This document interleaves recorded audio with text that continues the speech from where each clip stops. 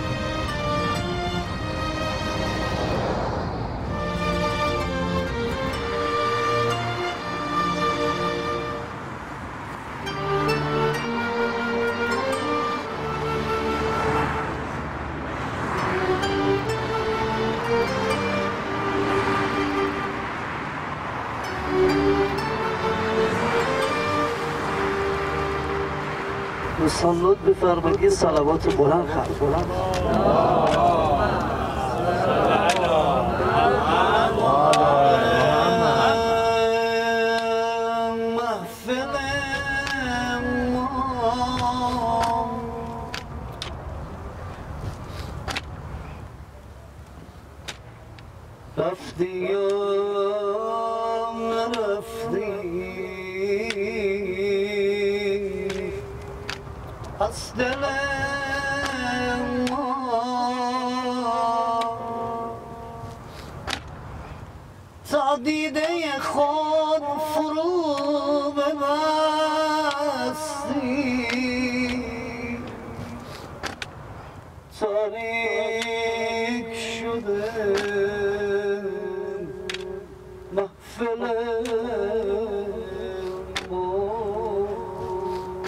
عزیزان لطف کنید به جهت شادی روح معلمی در سوخته همسری مهربان رفیقی شفیق زندیار مرحوم علی شهر میرزادی عزیز. همه با هم رحم الله من قرأ الفاتحة مع الصلوات.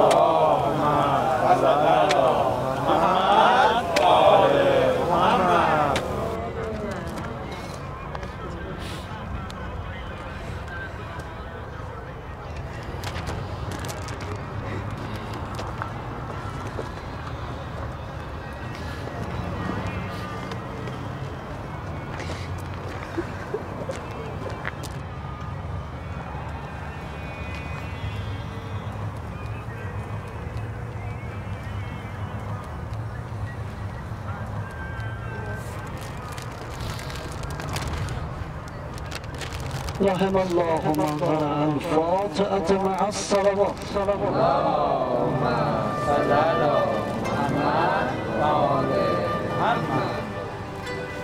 داد و بیمار از دنیا نری صلوات بره.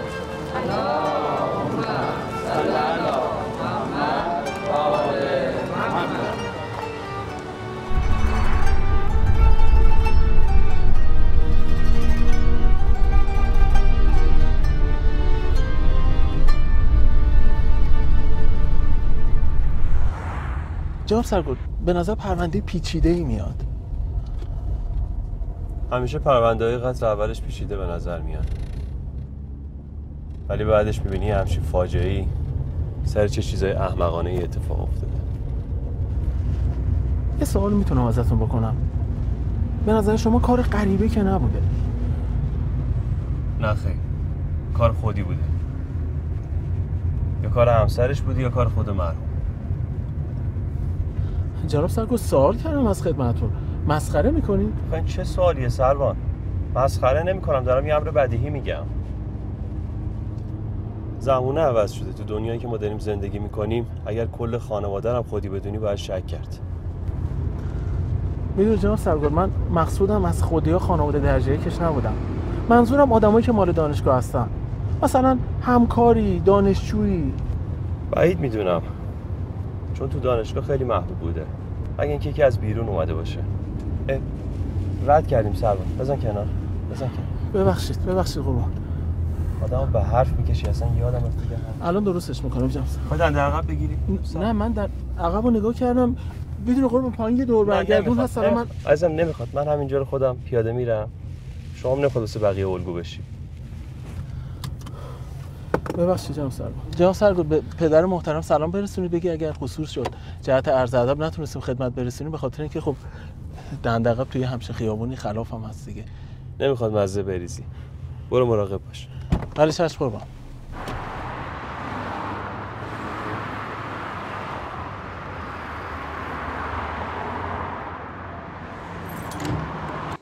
سلام آقا سلام جناب سرگرد.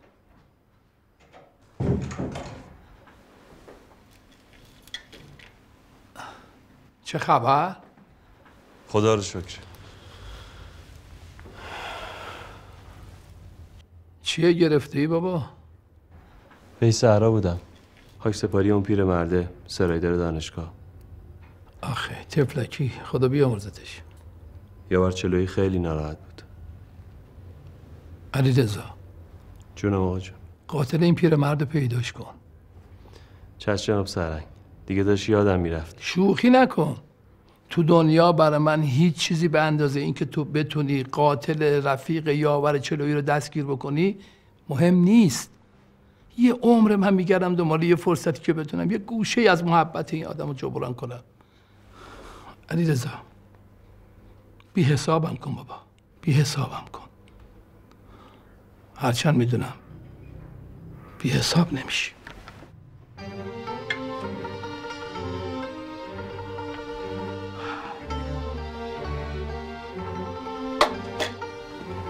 آقا جون. جانم. مطمئن باشی پیداش می‌کنم.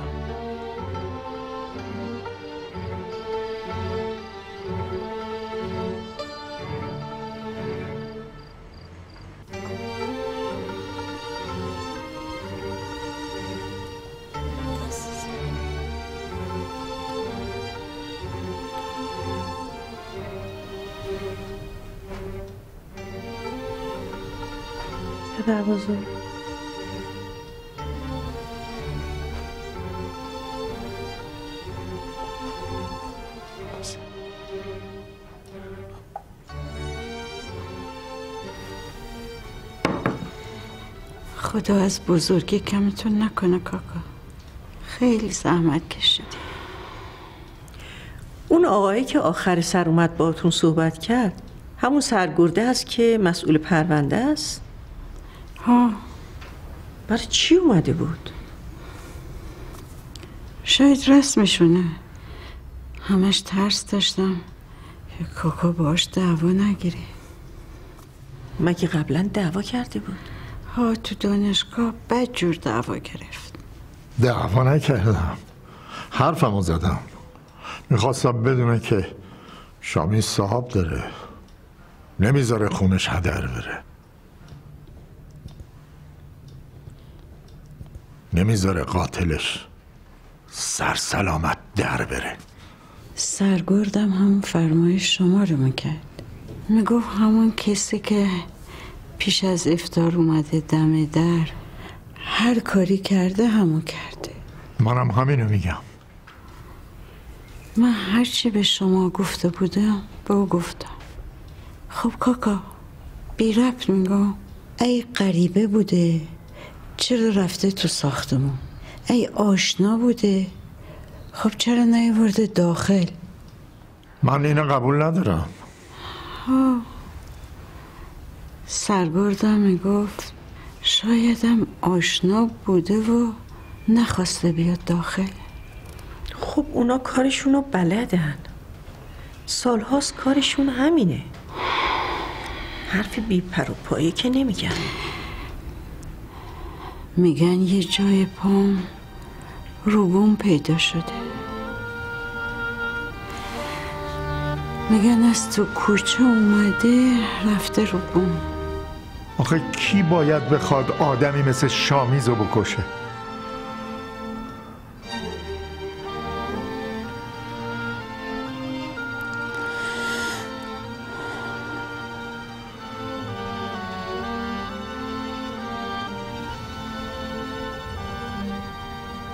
خسته نباشی جناب سرگل جعفری صبح زنگ زد گفت گزارش انگشت نگاری رو آماده کردن گذاشتن رو میزتون.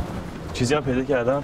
نه متاسفانه تا الان به چیزی نرسیدم بچه ها راستی گفت اگه امروز با این کاری نداری من یه مقدار زودتر برم. اون موردی هم که گفته بودید اونم آماده است. خواسته خدمتتون بفرستم. این آقا یا چلویی نیست؟ چرا؟ خودشه یا بچلویه یه دقیقه وای سلام برمیگرد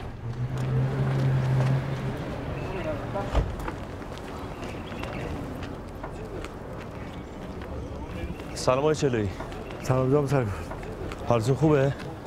بله خوبم طوری شده؟ نه. ماشین که پیاده شدن کمی سرم گیج رفت سلام. سلام. محسن نوه می‌شناسین؟ بله. خیلی خوب. بفهمیم داخل. من دیگه من اومده بودم شما رو ببینم که دیدم دیگه. حالا با اجازت. کاری با هم داشتین؟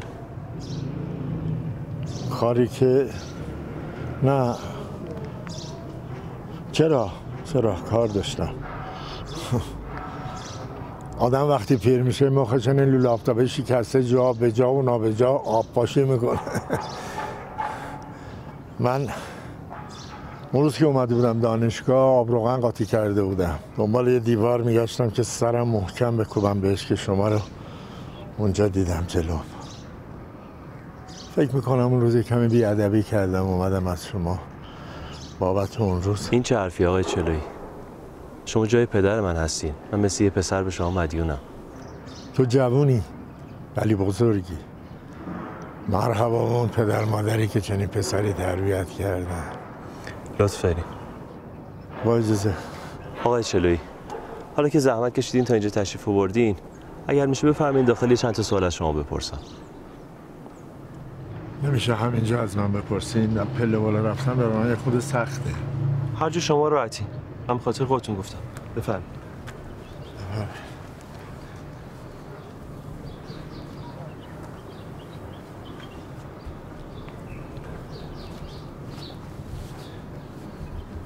تو بشین تو ماشین. الان کارم تموم میشه میام. چشم.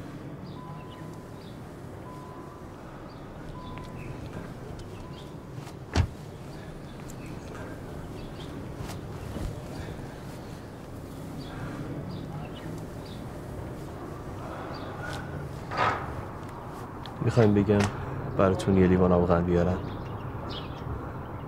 چقدر مونده به افطار سه چهار ساعت نه صبر می‌کنم. در خدمتم جناب سرگرد. فرمودید یه سوالی هم من داریم بفرمایید.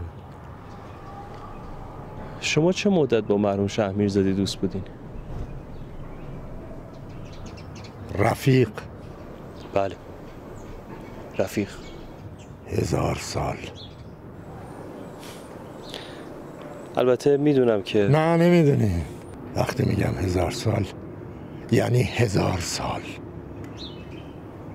یعنی تا یادم میاد شامیز بوده. هیچ خاطره ای هیچ غمی هیچ شادی بدون شامیز نبوده. اصلا انگار اون وقتایی که شامیز با من نبوده من زندگی نکردم. چون هیچی ازش یادم نمیاد. بله. میفهم. پای ماشین دیدی؟ نمی‌تونستم وایسم. بله. متوجه شدم. هیچ وقت اینجوری نشده بودم. انگار شامیز همه یه قوت توی پاهام بود. صبحی جلوی آینه. دیدم پشتم خم شده. اینجوری نبودم. هفتاد و چند سال زندگی کردم. تا وقتی شامیز بود مثل یه جوان 18 19 ساله بودم. کنفه یکونم کرد. می‌دونم حالتون خوب نیست. یه سوال می‌پرسم بعد رفع زحمت می‌کنم. بله بفرمایید. به نظر شما چرا باید کسی مرحوم شهمیرزادی رو کشته باشه؟ اگه یه روزی خدای قدرتی بهم بده که بتونم جواب همه سوالهای دنیا رو بدم یا همه مرضا رو دوا کنم هیچ وقت نمی‌تونم به این سوالی که پرسیدین جواب بدم. یعنی میفرمایید که اون مرحوم دشمنی با نمی‌دونی بابت کی داری حرف می‌زنی؟ تقصیرم نداری؟ لنگه نداشت. لنگه نداشت که باورت بشه میشه آدم اینجوری باشه؟ مگه میشه؟ مگه میشه آدم با شامیز دشمن باشه؟ حقیقتا ما الان رو مواردی متمرکز هستیم که دمدمای افتار به ملاقات مرحوم شهمیرزادی رفتن. الان اون آدما برامون مهمن. البته فکرم می‌کنیم که طرف هر کسی بوده برای کشتن مرحوم نرفته.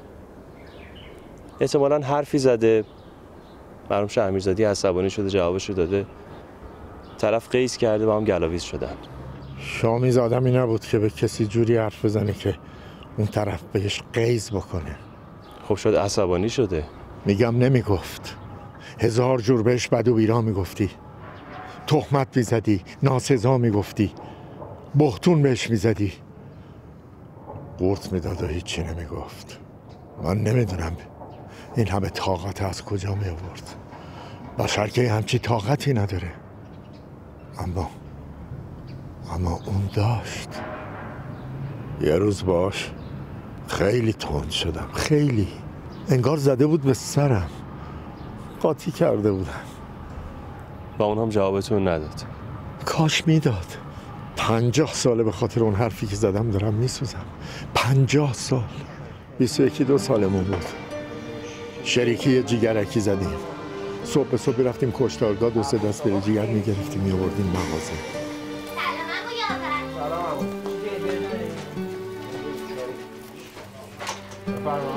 هر دو عین بولدوزر کار می‌کردیم. هفت روز هفته. صبح تا غروب. کافه و سینما و تفریح و گردش برامون شده بود. یه حسرت.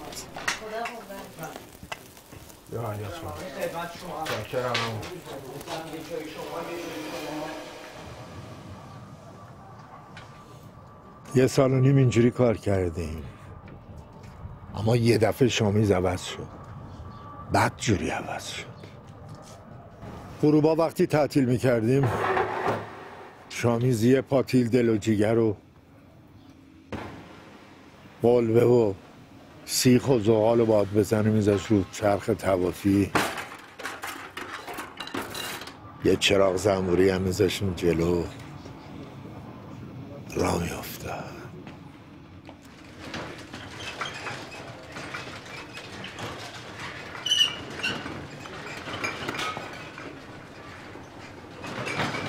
اونجایی که آدماش تو تاریکی بیدار می شدن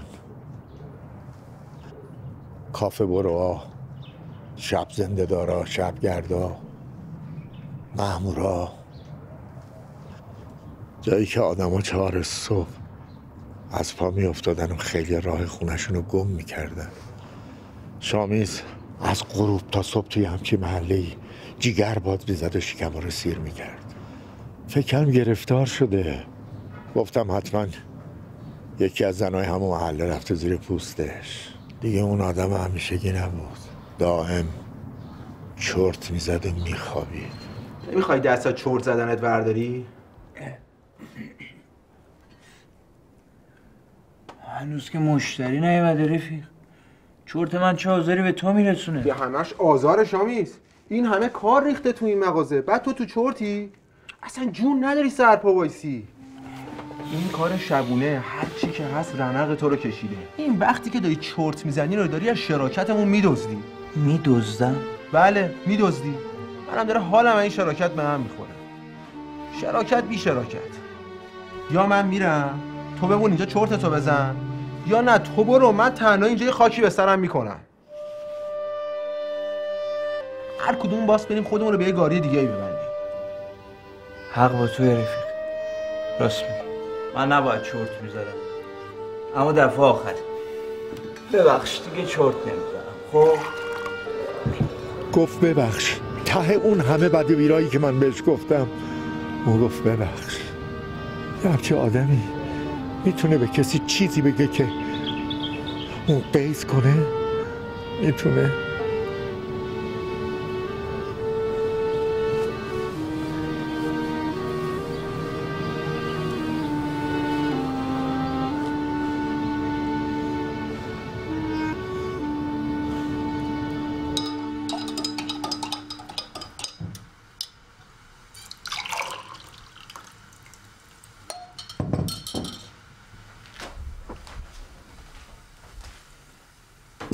تخم شربتی بخور. خیلی ممنون. دیگه هم حق نداری بی سحری روزه بگیری.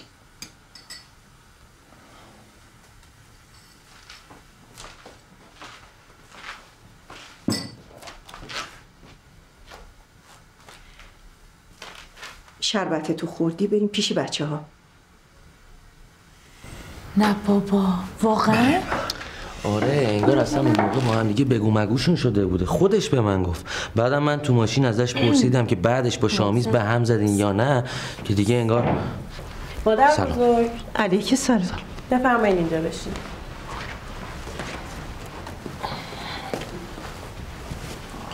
داشتم قضیه امروز رو تعریف کردم پدر بزرگ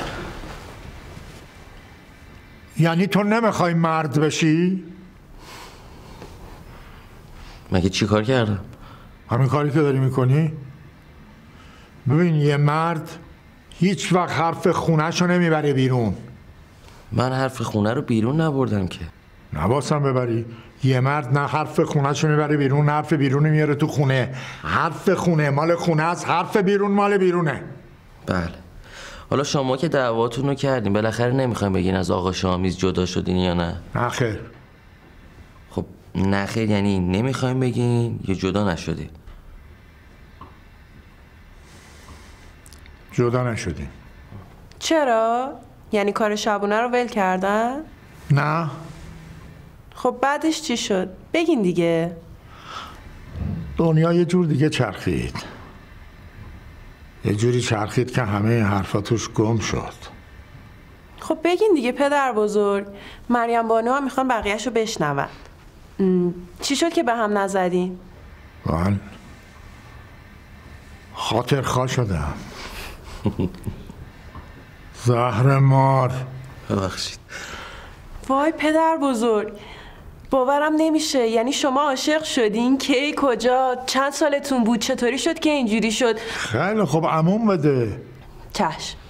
ببین غزل جان شاید پدر بزرگ نمی‌خواد جلو مادر بزرگ بگه. مبادا اون زبون تو از کار بیفته. زبون تو اگه از کار بیفته همه ساعتهای دنیا از کار میافتن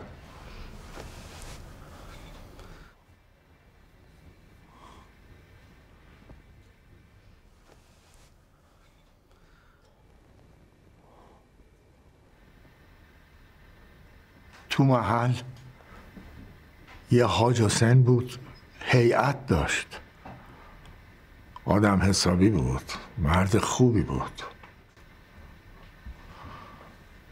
یه روز یه روز تنها که تو مغازه نشسته بودم حاج حسین اومد تو. شامیز رفته بود نونا رو از نونوایی بیاره. حاج حسین زنش کمخونی داشت. هر روز میمد مغازه این کناره های جیگره می‌گرفت. می‌برد خونه واسه زنش کباب می‌کرد. سلام آقای آور سلام آجی خوش اومدی. سلامت بشی. خدا قوت. خدا عزت حاجی ماشاءالله ماشاءالله. شاکریم یاور جان من یه ده دوازده روزی میرم مسافرت. سلامتی سبیه میاد اینجا. گوشی جگرها رو بهش بدین نشون ببره خونه. رو چشم آجی در خدمتم. دستت درد نکنه. حالا مال امروز رو بده خودم می‌برم. جونم رو چشم. خیلی دستت درد نکنه خیلی ممنون.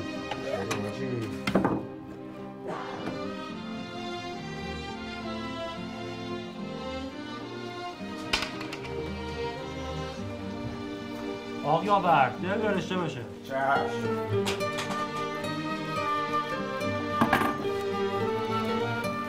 پیش از ظهر بود که اومد. سلام. من دختر حاج آقا حسینم. برای جیگرگوشه ها اومدم. آقی آور دل برشته خواستی؟ مسوخته این دل دیگه به درد نمی‌خوره. مشتری راست می‌گفت. اون دل دیگه به درد بخور نبود. ممنون.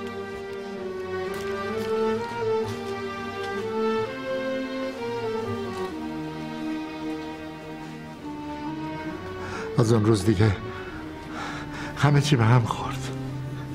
از اون روز دنیا یه دنیای دیگه شد. همه هفته این مرغ تو قفس خودم رو به این ور اون ور می زدم تا یه دفعه دیگه یه دفعه دیگه بگه سلام من جگر گوشه رو بهش بدم. اون بگه ممنون و بره. فهمیده بودم که دیگه بدون اون نمی‌تونم نفس بکشم. نمی‌تونم زندگی کنم. نمی‌تونم زنده باشم. با هزار جور شرم و حیا و خجالت از یارم مادرم گفتم. مادرم نور به قبرش بباره وقت گرفت. راه افتادیم طرف خونه حاجی. واسه خواستگاری.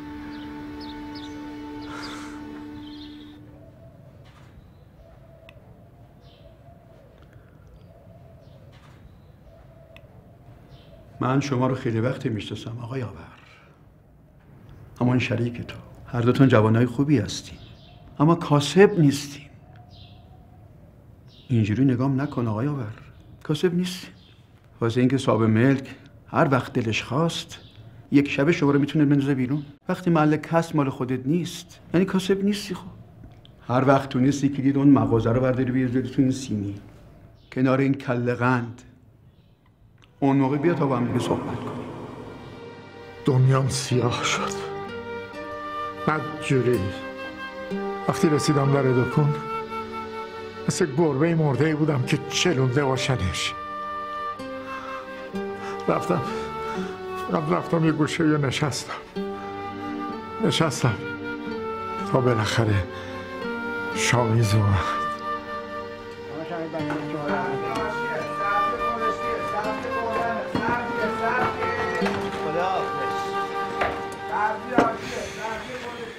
آقا میز دست شما درد نکنه. باشه جو. باشه. دم شما گرم. با عزت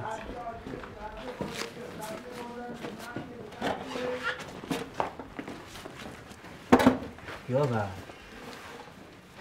بالاخره بهم بگی چی شده. رفیق بهم بگو چی شده. به مولا قسم پاتم. هر جا بری پات واسدادم خودت که می‌دونی. فقط تو بهم بگو گیر و گرفته چیه. امشب می‌خوام باهات بیام. میشه؟ معلومه که میشه. چرا نشه؟ قدم تو چشم.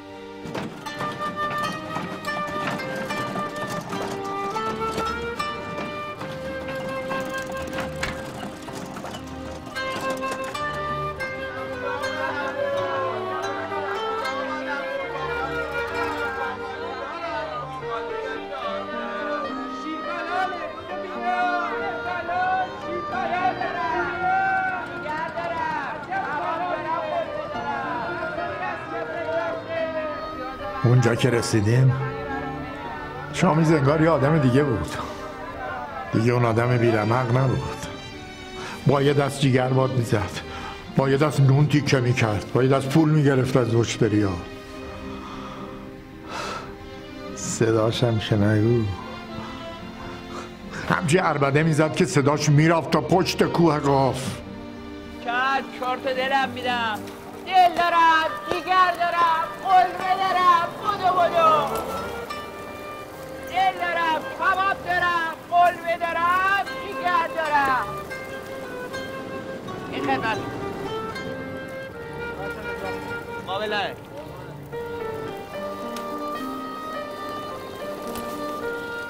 دل دارم دیگر دارم. دیگر خورش بیاد من تمام شام شب نشستم و تمام چه تماشایی. داداش. اصلا چیزی ندیدم. با شامیز اومده بودم واسه این که نمی‌تونستم برم خونه. تو خونه تاب نمی آوردم با اون همه کاری که شامیز داشت. هیچ کمکی نتونستم بهش بکنم. جمعیت هی کم می شد هی کم شد. رفتن رفتن بالاخره همون جوری که صبح داشت نزدیک می شد اونجا هم خلوت شد.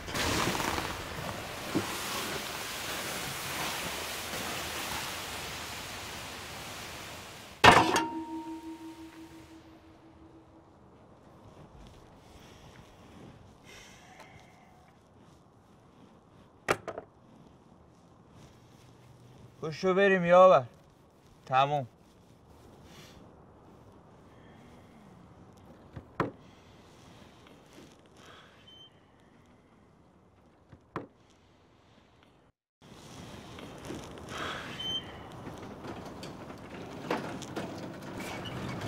میگم سخته که فردا بخوای زود بیای مغازه نه؟ فردا اصلا مغازه نمیام دیگه هیچ وقت اون مغازه نمیام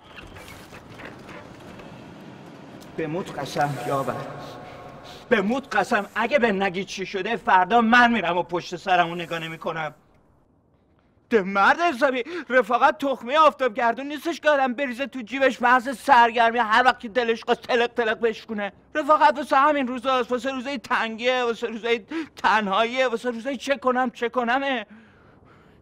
تو وا کن این دل تو بهم بگو چه مرگته.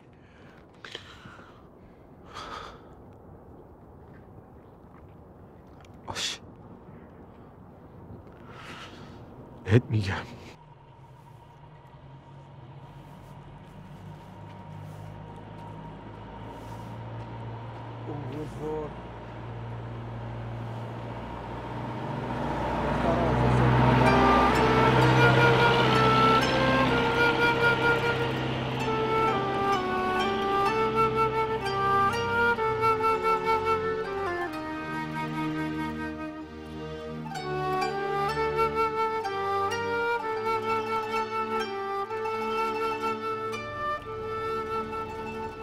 خیلی میخواش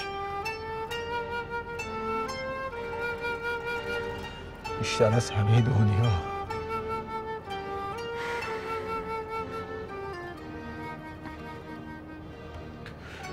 خاک شدم شامیز خاک. من بعد از این شهر برم شامیز کجا بریم فکرشو کردی؟ هر چی دورتر بهتر. عجب روزگاری. عجب.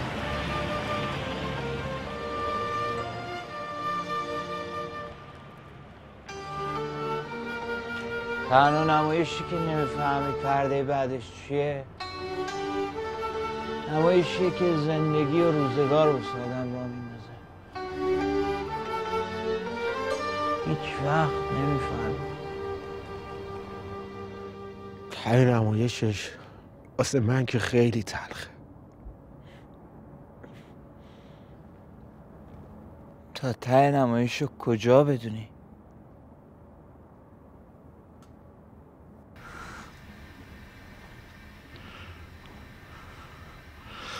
مادرم مادرم همه شب گریه کرد. اما من گفتم مادر بذار برم من دیگه دل مدت تو این شهر رو ندارم. حق تو حلالم کن بذار برم. خدا بیامرزه مادرم. تعویزی که همیشه همراش داشت. بست بازوی منو. صبح. از زیر قرآن ردم کرد و یک کاسه آب پاشید پشت سرم.